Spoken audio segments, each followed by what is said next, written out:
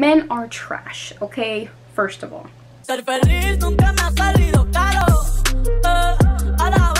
What's up guys, it's Alyna and if you're new here, welcome! It has been such a long time since I filmed the video and I'm so sorry. I have been so caught up with doing college online and I started a new job. Like there's just been so many things going on so I am very sorry. I did this Q&A on my channel, I mean on my Instagram like almost two months ago and I have not sat down to film this video so these these questions are from the Q&A that I did on my Instagram a few months ago. If you missed that Q&A, make sure you follow me on Instagram. That way you can participate in the next one.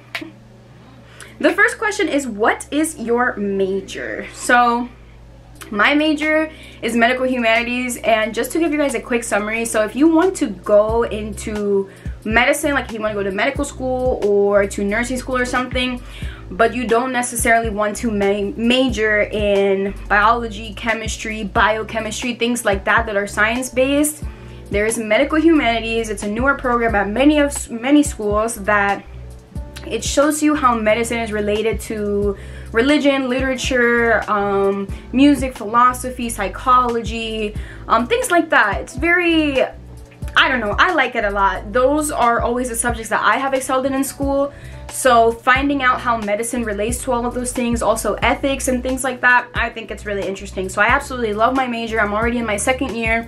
I've taken so many interesting classes and I'm just I just love my major I really do so the next question I actually got this question a few times it says how stressful has college been and how have you been managing college during the pandemic so I'm kind of like torn because certain weeks I feel like it's too much and certain weeks I feel like I've done no work. So like I, I haven't felt as stressed as I have in past semesters. I feel like I'm kind of in the middle at this point that I'm not like super super stressed. I think the most stressed that I was was during midterms but my assignments are not that difficult. So if you didn't hear in my last video, I'm taking five classes this semester. I have anatomy and physiology, Italian, psychology, death and dying, and music and film. So basically out of those classes, the most stressful is anatomy, obviously. Taking anatomy online has to have been the worst thing and I signed myself up to take anatomy 2 next semester online too, so we'll see how that goes. But managing college throughout the pandemic, you just have to know time management.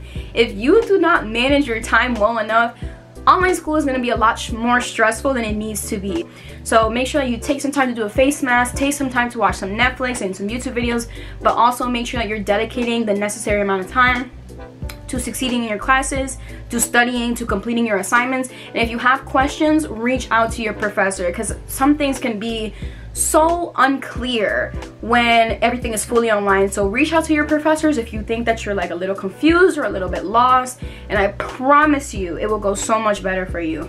But if you need some help with your time management and your organization, you can watch my last video, which was a productive day in my life. So the next question is, what is my favorite show or movie? So I have not had very much time to watch TV recently. I used to be really into Netflix over the summer and I have not had time to watch TV recently. But my favorite show at the moment that I'm watching on Netflix is Falsa Identidad. My top top favorite show that I have watched on Netflix of all time is El Dragón, The Return of a Warrior. It's a Spanish telenovela that is like about a drug cartel.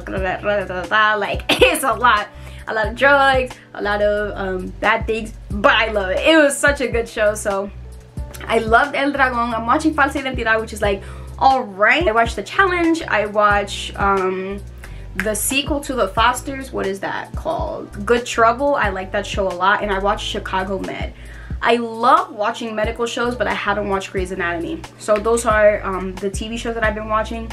How do you make time to read your Bible? So this is a really good question because for young people, for some reason, it is especially difficult for them to read the Bible. And I don't know why that is. For me personally, I didn't start reading my Bible until last year. Like I was already 18 years old, an adult. Like I hadn't even, I had never even thought about reading the Bible prior to that. So the main thing that I would say in terms of making time for it is doing it when you want to do it. So it's so the main thing in terms of making time for your Bible is doing it when you want to do it because you want to do it and not because anyone else is telling you. So the main reason why people end up not making time to read their Bible is because too many people are telling them you have to read the Bible, you have to read the Bible. It has to come from your heart in order for you to actually consciously start to make time for it. So for me personally, I only read the Bible when I feel led to read the Bible or if I really just want to get into in intimacy, a moment of intimacy and um, God sometimes brings me to a certain scripture or something like that then I'll read the Bible. But I'm not going to tell you that I'm a saint and that I read the Bible every day because I don't. The other thing that you can do to make some time is to start off small. So if you start like a Bible plan or something in the Bible app, those usually only take like 5 to 10 minutes a day, I swear, not even. So if you want to start to make a consistent amount of time for that, you can do a little devotional every day. The Bible plan will have a devotional and it'll have like two or three Bible verses and then that's it. That's your Bible verse for the day. You don't have to read the Bible for 30, yeah, 30 minutes or an hour if you really don't want to. So it's good to start small and then start building up. So hopefully that helps.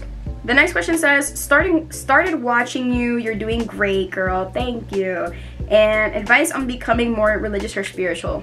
So the top thing that you want to do if you want to start becoming more religious, religious is kind of like an awful term, but if you want to start getting more into um, Christ and God and all that things, make sure you find a church community.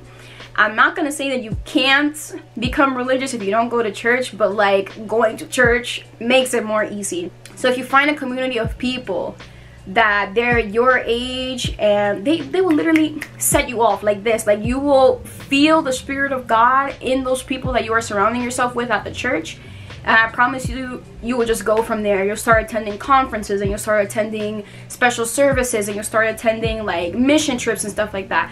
But the way that you begin is by going to church, finding a community of people that love God and that you can just feel that the presence of God is in those people. When you're home, you want to make sure that you're not just pursuing spirituality in church. Like you want to make sure that outside of church you start listening to worship music. So you just start incorporating that into your music slowly but surely making a little bit of time here and there to read the bible. And i promise you god will continue to lead the way. I have some amazing Christian playlist on my Spotify. If you guys don't follow me on there, you can definitely look at my playlist. I have them all public. I have my Spanish worship music, my English worship music. I have Spanish um, reggaeton, that's Christian, and I have upbeat praise. Like literally, I have like Christian music for every type. So if you guys are interested in that, you can go ahead and check out my Spotify. Next question is boy advice, and I have very little, little experience with this.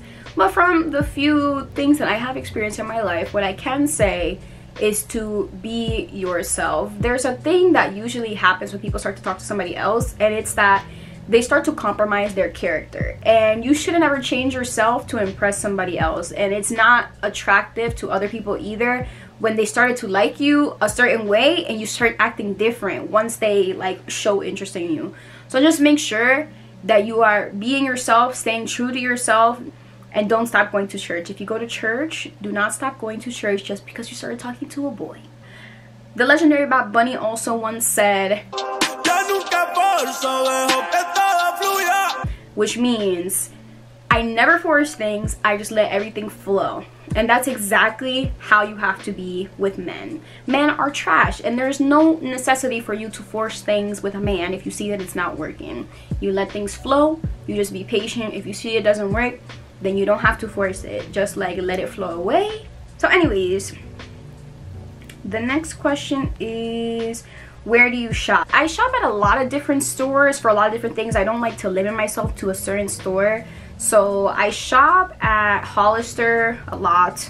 Um hollister pacsun h&m i get all of my graphic tees from pacsun and from Zumiez and I've also been shopping at Shein a lot more recently because they just have everything and everything is so cheap. And I buy all of my jeans from American Eagle. I don't have a single pair of jeans that's from anywhere else. Like American Eagle is where it's at for the jeans. For church clothes, I actually am going to be filming a haul soon. But for church clothes, I actually like to shop at like Ross and TJ Maxx and stuff like that because they have like a lot of nice stuff for church. So I'll be doing a haul soon of all the things that I've gotten in the last few weeks for church. The next question is What is your favorite part of your makeup routine? So, to be honest, I really like my mas doing mascara. Mascara, I feel like is my top. My eyelashes always look like they're gonna fly away, and I love it. I don't wear eyelash extensions. I don't wear fake lashes, but my eyelashes always look like they're gonna fly away, and I love it. It's my favorite part of my face.